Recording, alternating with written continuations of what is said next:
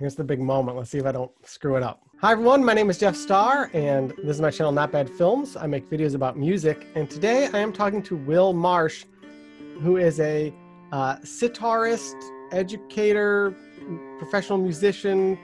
Uh, I'm going to call you maybe electronics guru of some sort. Um, and the reason I wanted to have Will on for one of these interviews is because he's done something that I think is very interesting, which is uh, he spent several years developing a pickup system for a sitar. And if you're familiar with the sitar, you know that it is not necessarily uh, very conducive to electronics and pickups. It's, and, and it likes to fight modern technology sometimes. so mm. tell us about this, this pickup system that you developed for the sitar and how is it different from some of the other like trans, transducer systems that sit underneath the bridge or um, are designed that, that you see sort of sold by other retailers? Right. So the first distinction I want to make is it's not a traditional sitar, as in the gourd body, you know, old fashioned regular mm-hmm. sitar. It's actually made of a wood body. And since it's right here, I might as well kind of show it as I'm speaking. That'd be great.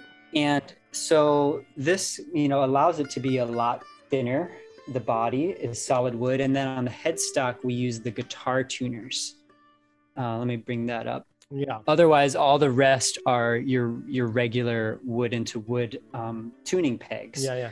I was resistant to playing a sitar like this because I never heard one that really sounded good to me, and I never wanted to compromise the real sound of sitar. It's got to have that resonance.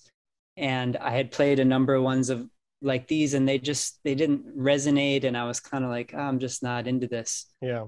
But then when, when i heard this particular one that's made by kanai lal i was like wow this really feels like a sitar. It sounds like a sitar. It's resonant. And that's what got me started on the whole idea of then adding a pickup system. So this was kind of the the first point was finding this instrument. And then so getting back to your question of you know what's unique about the pickup system um, I am actually not the electronics guru. I, I found my electronics guru, and it's a guy by the name of David Enke. And he has been working with pickups for over 30 years. And he started a company called Pick Up the World oh, wow. that um, specialized in world music instrument pickups um, in Got the it. 80s in Colorado. And so I got in touch with him and we started working together. I started sharing my idea that, you know, I really when when you play sitar outside of a classical context and say you're in a setting where there's a drum set and a key keyboard player like sitar is just not going to yeah, be in the mix. Like so you lost, can't yeah.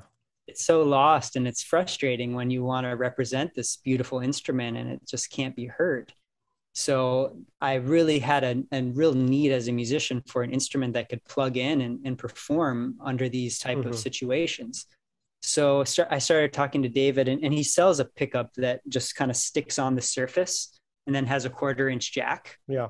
And I would use that on my traditional sitar, and, and it was a nice pickup. So I was like, okay, this guy's making good stuff.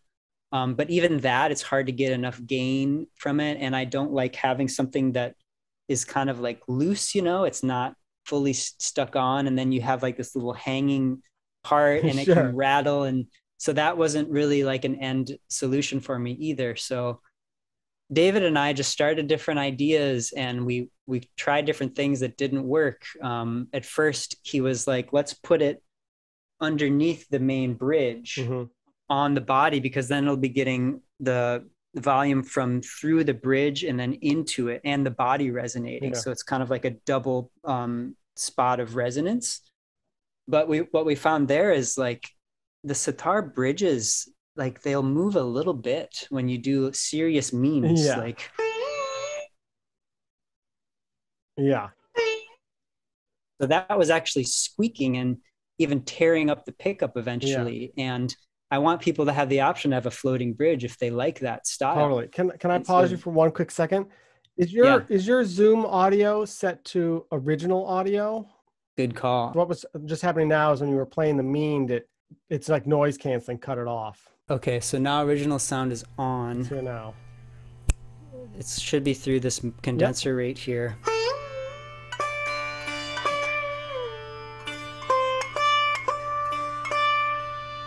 Perfect. Sound like it's yes, I can cool. hear you there now. Okay. Thank you. I always forget that. No, no, believe me. Uh, I only know it because of of doing online lessons because of COVID and stuff. You know, like Right. yeah.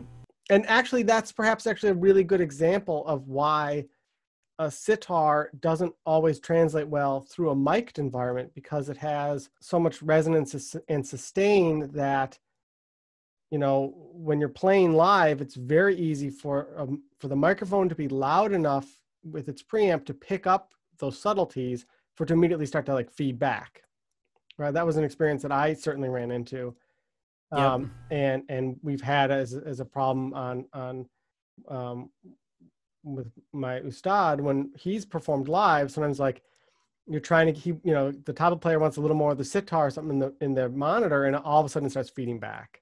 And There's so many overtones. It's Yeah. like, yeah. so I think that's why this concept is really interesting to me. But the the on the body pickups I've heard in the past have always sounded really lifeless. And I, I think Yep. so this sort of journey you've been on to sort of like fix that is is is sort of like why this conversation was appealing to me. So Right. when the pickup was sitting underneath the bridge, you were saying that the, the little micro movements of the bridge were actually wearing the pickup out over time. Yep, they actually damaged it. And it just wasn't, and then you'd get like a little bit of a squeak sound. It would emphasize some of the sound of the sitar is so complex. Like when we're doing these meends, there's a little bit of like a sound of the string moving across the bridge. Yeah. And it was getting more of that than was desirable. Mm.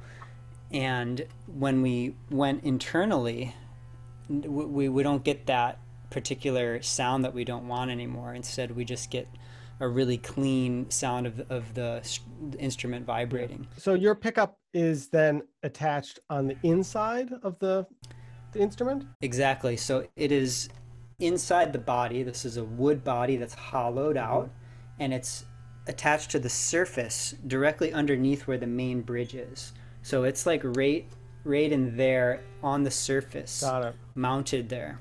My understanding is that you are sort of selling this as a as a straight package, right? Like it's a, it's the sitar with the pickup installed, correct? Correct. And the pickup coming out is it just coming out a quarter inch jack or is it a mic XLR? What is that connection there? Yeah, good question. So I'll show you the unit. It's a quarter inch, Okay. and it also features a master volume knob. Hmm. And it's powered, it has a custom made preamp for the pickup that is powered by a 9 volt battery that has a little slot right here. there a little battery door there? Yeah, yeah.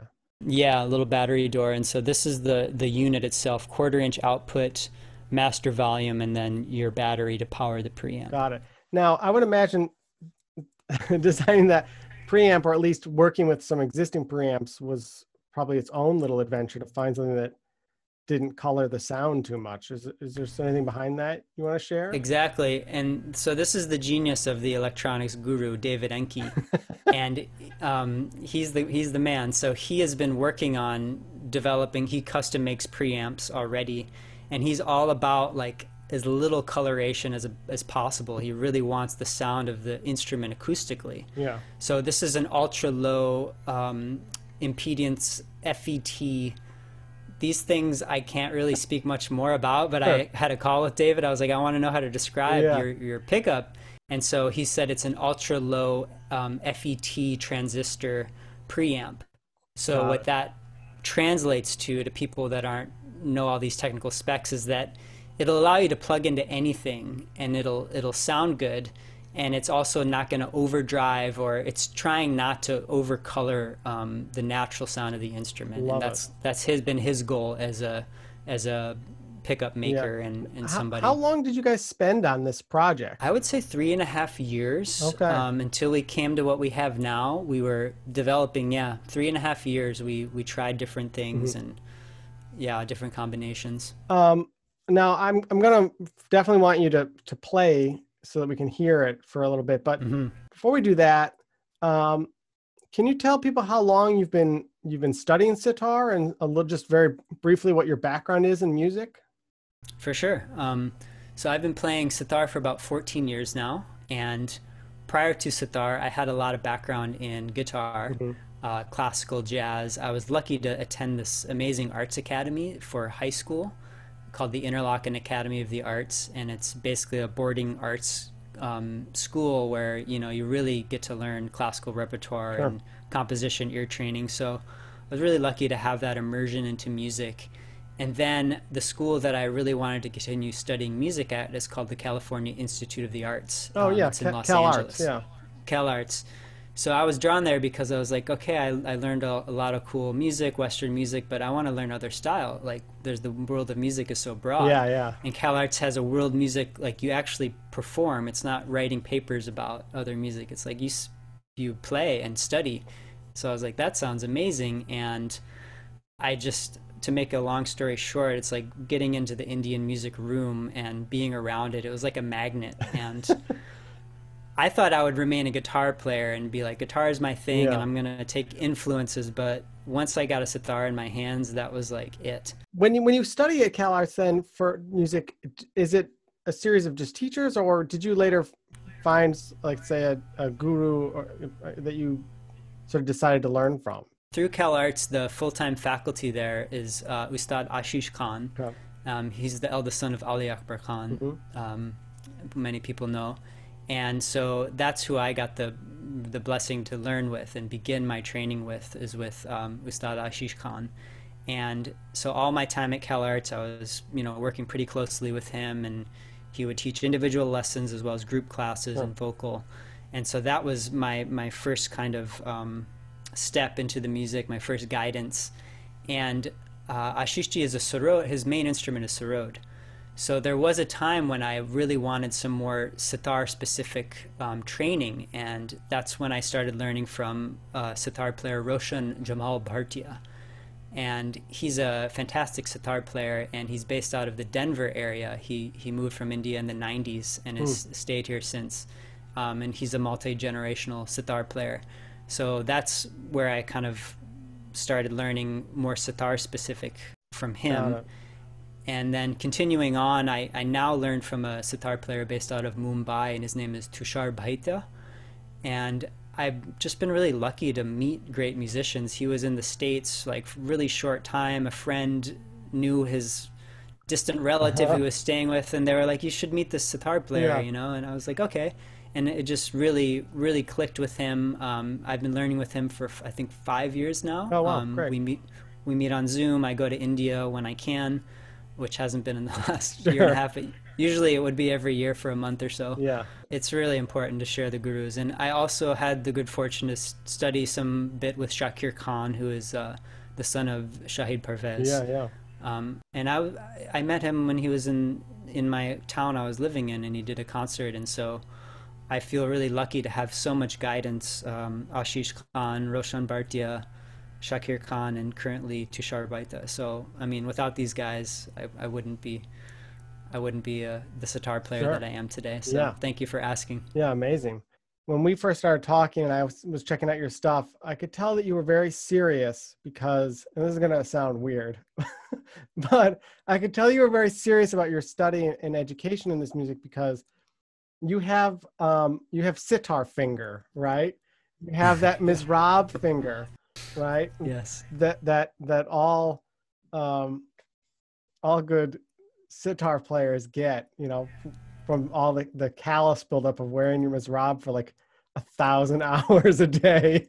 And um and I was like, okay, he's doing a lot of practicing. And then I watched some of your videos and they're they're very articulate and very well done. So so Will, I want you to tell me what style of sitar are you playing? Is it a, a Gandhar Pancham style sitar? What do you have going on there? So I've actually kind of found myself in a hybrid of the two. Okay. And this is because I started learning in, in the Maihar Gharana, which is, you know, Ravi Shankar's yep. Gharana and the Kharaj Pancham. Um, and then I've continued to learn in the in the Etawah Imdad Khani style, the Vilayat Khan mm-hmm. lineage. Mm-hmm. And I feel like there's such beautiful things about both Gharanas, and the way that I have made it a hybrid is that I take the low pa, low pa, but then I don't take the extra low kharaj. Okay. And then there is where I have I still have Gandhar if I'm playing a rag with, say, a major third. So I still have Gandhar Pancham. Yeah. And then I also have, Wow. And it's a combination. And, you know, I give credit to the guys who play on the low, low kharaj Yeah. and do all the beautiful meend. But for me, I'm like, I've got enough work cut out on just this one. Yeah. And when I'm playing Alap and Jor, I can do this. Yeah. I have to say, just also watching you just retune right now made me really jealous for your guitar tuners. Oh, yeah. I didn't think about that. Well, how do you tune your instrument? Are you in in D or C sharp or? Good question. So these ones, the the travel ones, I like to have them in D. Yep. But my my acoustic sitar that is here, this is a, a Barun Ray Gandhar Pancham sitar. I like this in C sharp, Okay. Yeah, yeah. and and it, yeah, I something about there's a little more warmth in, in C sharp on my full acoustic sitar. Yeah, I, I find the instrument really wants to dictate how it wants to be tuned sometimes. You know. Right. Can anyone can can someone get this sitar from you in either sort of style, and let's say that Ravi Shankar style, that Vilayat Khan style, or or is or is it Yeah, just come in your hybrid style? That's a good question. Well, I actually make it the hybrid. The the maker sends them Kharaj Pancham to me. Okay. Um, and the thing that I like about that is if you are Gandhar Pancham, you essentially have one less string. Mhm.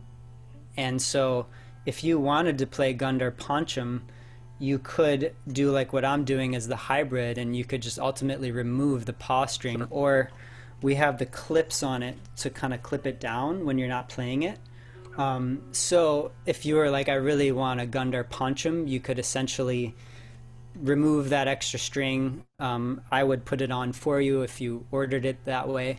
Um, and you know, I, I I could start stocking some from the maker, but I find that it's nice that by ordering Kharaj Pancham, you can kind of then make it Sure. as you like. Yeah. Um, so that's that's what I've been doing so far Yeah. because I haven't had anyone be like, I want an purely Kharaj um, Gandhar Pancham style one. it. So Uh, do you then also do you have to ch- reshape the Jawari at all t- to adjust for that? I've found that it's pretty easy transition because the Gandhar string, like you don't fret it, Yeah. right?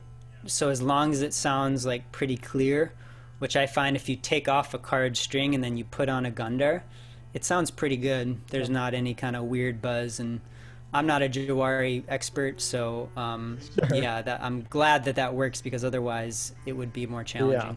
when I'm thinking about how this this setup is, and I'm trying to compare it to something else, I immediately think of let's say like a like an arch top, hollow body, or or F hole style uh, jazz guitar, like a big jazz box guitar, hmm and those are really notorious for feedback.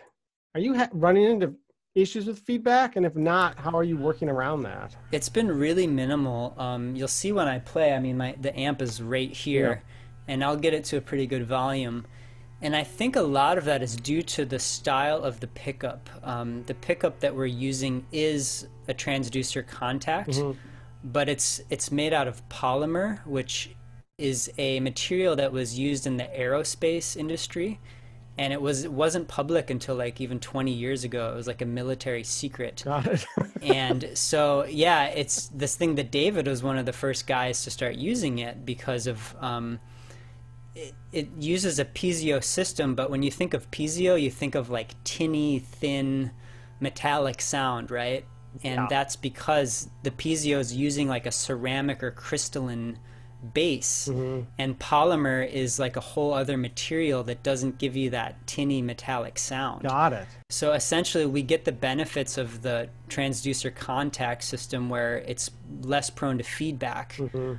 but it doesn't put us in that thin, tinny sound Yeah, that- category that- because of the polymer. Yeah, the the way that those those um, I always say piezo, piezo. I never know what Or, it is. yeah, but piezo, pi- yeah. whatever it is. But that that crystal system, it just sounds, uh, it sounds so crystally. I guess you know. It's not, I don't know how. It's harsh. It's very me, It's harsh, yeah. It hurts then the I- ears. I feel like you end up having to color that sound to try and make it sound like a an acoustic. So can you tell me a bit more about your relationship with um, Kanai Lal and Sons? Definitely. So the way that I discovered their sitar that I love and use as as the instrument for this whole system mm-hmm. is um, a student of mine just like was like check out the sitar I got. And that's when I was really impressed with you know like I said this wood body sitar. I, w- yeah. I was not impressed with these type of instruments until I heard um, Kanai Lal's and so Kanai Lal happens to make the sarods for Ashish Khan my, oh, my first guru and so I got in touch with him through through Ashishji and I was spending time in Calcutta every year at this time where Kanai Lal's shop is. So I got in touch and I ordered one of these and I kind of met up with him and um, yeah, I got to personally meet him and order one and that was kind of like I wanted to see is it as good as my students mm-hmm. like what's what's the yeah yeah um, yeah what is what is a standard of, of his production and and it was a great instrument so then when I decided to start pursuing this project, I had a direct relationship with him and was immediately able to kind of order more and I actually went and picked him up and flew oh, back wow. with them when I when I got a first few orders. So and he's just like a super humble, um, hardworking person and you know, a lot of people will be like, Oh, you're do you go to the sitar factory and they make a term like and I'm like, you don't, I don't think you realize it's made in a room that's probably smaller than your bedroom. Yeah. where they just sit on the floor and they barely use power tools and like all of his lacquers are in like seven up but like it's very like it, it's just it's not what you would expect but you know he puts such dedication into every instrument i've never gotten one that i'm like oh this doesn't sound good wow and that's the biggest concern being a foreigner ordering instruments yeah. is if you get someone who's just like okay they're going to order 10 and i have no incentive to make sure every one is as good as it can sound. So that's a long way of saying like I feel really lucky to um, have this great relationship yeah. with um, yeah, Shubhashta. Kanai Lal was his father, so yeah, I think yeah, that, that's um, been huge. I, I think that uh, that's one of the the you know if if someone was to come across you and this instrument, there a lot of people might just think, oh well, why don't I just go order one and slap my own pickup on it? But I think that to that point, you know what, what I, you see this a lot of times on the on the the sitar um, subreddit on reddit. Hmm. people are like hey i found this sitar on ebay or or on on amazon or something. Is this good? Should i buy this? And the answer is always no. And because you you really need to be getting it through a trusted source you know if if you're not there to pick up that instrument you need to be getting it from someone who who has been there that has a good that relationship with that builder who's going to know you know that what they get on a consistent basis is going to be a really high quality instrument. Yeah that's you know, important. and, you know i had done one of these interviews with um, uh, nick dillon of old delhi music and they do harmoniums primarily. Mm. and in their experience they used to have all these harmoniums made and they would they would get them delivered and they would be of all varying qualities. And they'd spend a lot of time sort of repairing them getting them up to sort of a, a standard that because he didn't want to sell anything that he wasn't really confident in.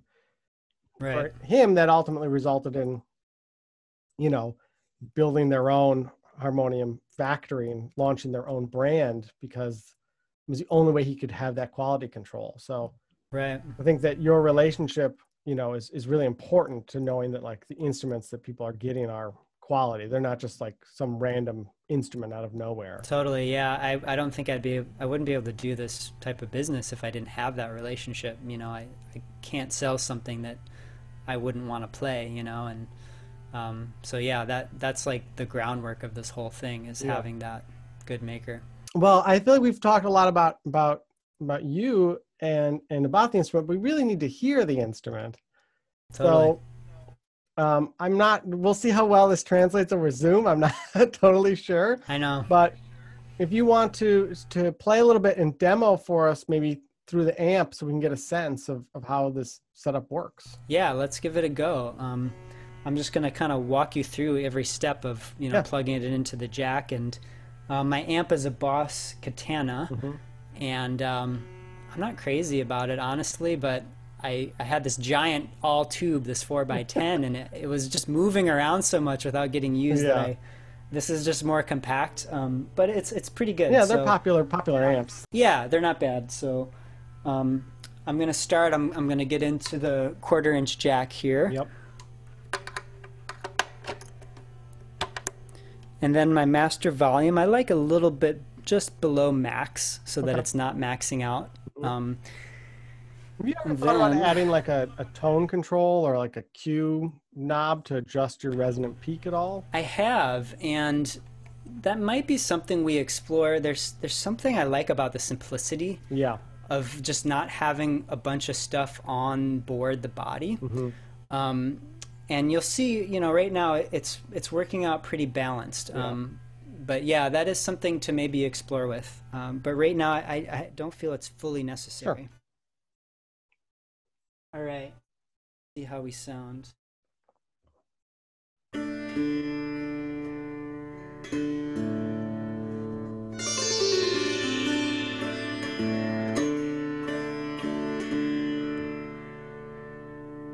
So I'm at a pretty good volume in the amp. Let's hope I'm not peaking on your end.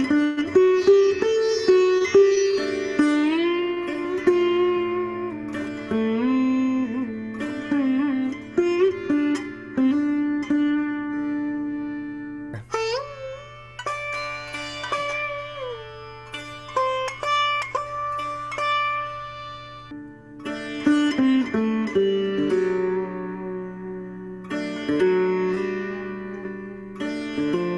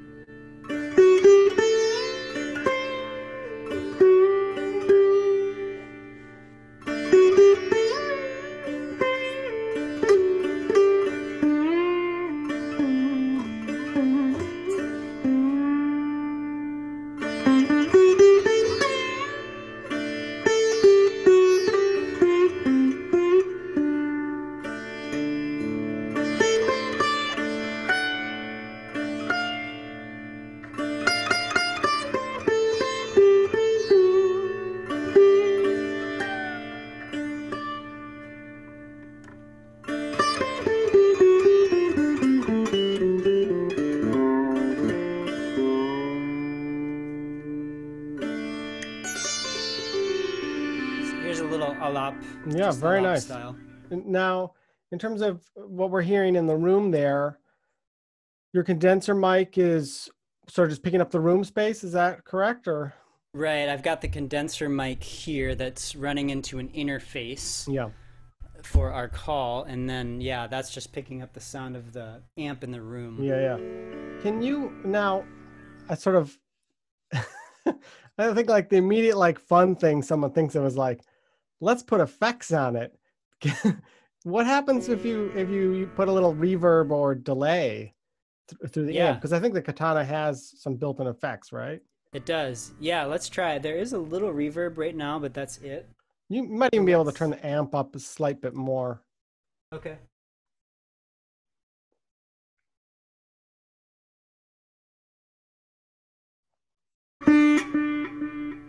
Delay.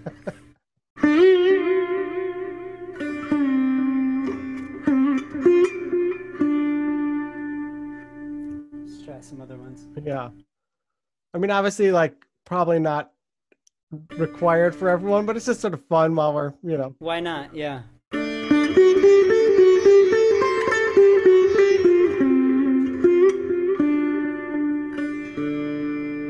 I could see, particularly if you're playing live, being able to have just a little bit of reverb, you know, whether it's, you know, through an amp or a pedal or through the PA, whatever it is, to be able to just give you a little room sweetness.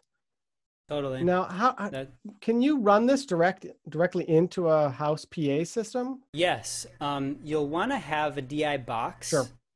It's definitely helpful, but I've done that where I've run directly into a house DI box or right into a mixer. Mhm. Um, that's the great thing about this custom-made uh, preamp is that the impedance is made so that it's it can match up with with anything. Yeah, yeah. And that's the goal. Is like I want people to be able to plug in and not be like, does it have phantom? Does it have this or that or the other thing? It's like your likelihood of it sounding good in any configuration is, is there. Yeah, yeah. Well, I think goal, it so- sounds it sounds really nice. I mean, I know there's more videos on your on your YouTube channel of you performing with this electrified.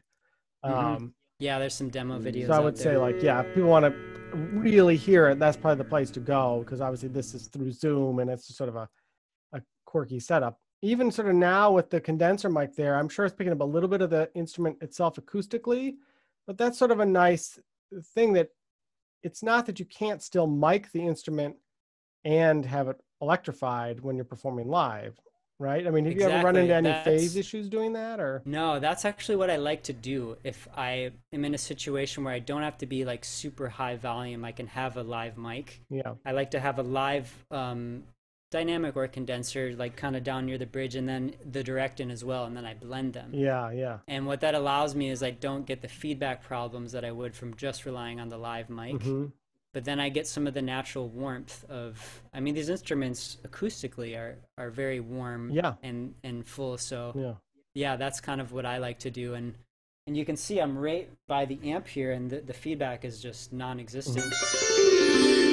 I'm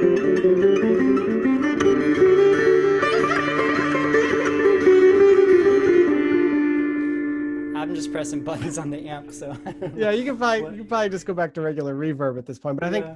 that's a really uh, sort of good example in a way because people can really tell wi- by having the repeats in the delay. It's like you know what you're hearing is is the the coming out of the amp. Yeah. totally. Well, really exciting, really exciting. Will as this entrepreneur who's made a product and is is selling it. Um, what do you want to see happen with this over the next, you know, short period of time? Is this? Do you want this to become more of your day-to-day focus? Is is this, or you have other ideas for new things you want to start uh, creating? I think my real goal is to be a kind of go-to source for this very specific instrument. Mhm. It's it's very specific. It's a it's a sitar that can be plugged in that also is very good for traveling with. Yeah. Like you can bring this on the plane and that is huge. Yeah. And to be able to travel somewhere and play an instrument that you feel good about playing and not checking it Yeah. in the world of sitar is huge. So like if you don't say like I don't need an electric sitar, you can just get this it's the same it's the instrument without the electronic thing. Sure. So I really want to be a source for that musician who's like, you know, I want a good sitar that I can travel with. I want a good sitar that I can plug in. And yeah, I want to see that kind of reach the people that are looking for that and be known for that specific source. And mm-hmm. I don't have a desire to do other instruments because I don't know them, right? Like harmoniums are popular now, they're selling, and people have been like, you could sell a lot of harmoniums. I'm like, I don't love harmonium. Yeah. I- I'm not going to do it. Yeah. Um, and I also I do import tampuras too, instrumental tampuras Got from. Kanai Lal that I think are great, and I feel like everyone should sing with a tampura that is getting into rag because it's a really important part of the study um, from my experience. Do you think that you'll continue to to make uh, introductory educational videos on your YouTube channel as well, of just about Indian music in general? Yeah, that's definitely a habit that I see continuing that I started more regularly in the past year. Yeah. And I really enjoy it and and I'm I just want to offer that kind of value and guidance for people that are that are learning and not everyone can find the right teacher so easily and I feel like as a western person who studied both music deeply I, there's a way that I can translate it mm-hmm. that is helpful and I still encourage people to find like a guru you know and but I feel like there's a way that I can offer a lot to someone on the path of, of learning, you know. How, how how many students do you teach now? Or do you have like a small group? Or? It's a small batch. It's a small batch. Um, I do individual lessons and they're all remote now. Um, Yeah. I've had times where I've had like you know, usually between five and ten at a time. Oh, okay.